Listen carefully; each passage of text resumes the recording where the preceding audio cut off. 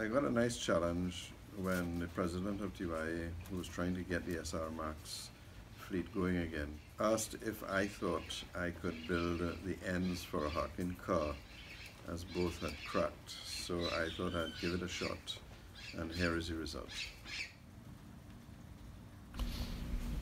So the first thing we had to do is work out all the dimensions, then transfer this to a technical drawing which was reproduced and then stuck on a piece of starboard, which we were going to use to machine the part.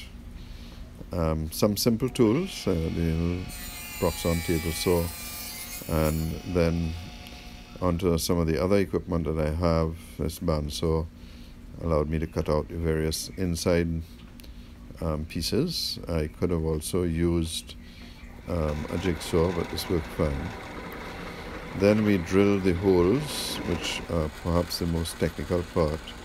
And then the hole has two sides, a reset hole and the hole that's the exact size of the screw. Um, once this is done, you can go and start machining.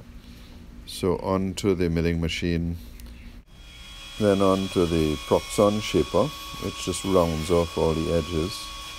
And then finally putting the bearings in and testing it out. And as you can see um, it works pretty good.